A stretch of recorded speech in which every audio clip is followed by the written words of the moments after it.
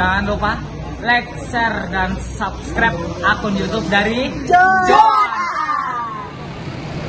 Selamat pagi, ya dari pasar hewan lanjut ke pasar Loak Kebumen yang berada di Jalan Maijen Sutoyo depan stand plat Pol Kebumen.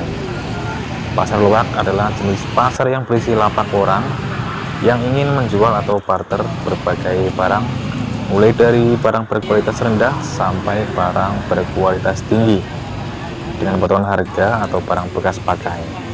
Pasar ini bisa berada di tempat lapang atau juga mempunyai atap non permanen.